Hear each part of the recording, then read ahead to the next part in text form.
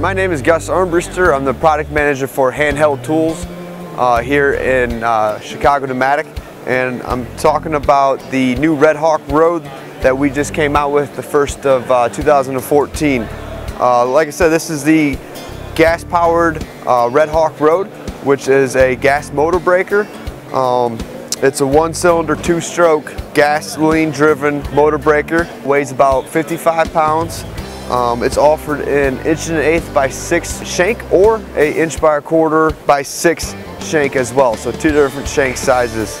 Um, some high points on the machine um, are the vibration reduced handles. Um, this here is the throttle. Um, to push down on it, the handles flex here and engage with the piston.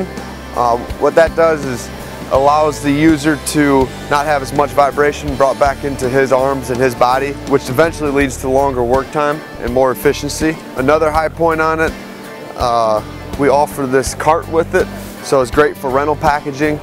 You can have it sitting on your showroom or accessibility on the job site. And then we do offer a uh, package for tent stake driving. Uh, it's very popular with the tent rental companies.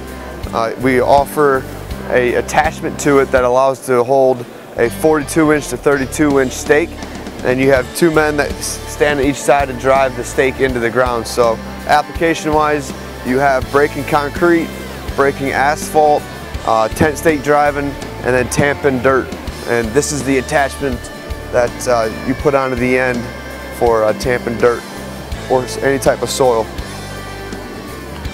And that's the uh, overview of the Red Hawk Road.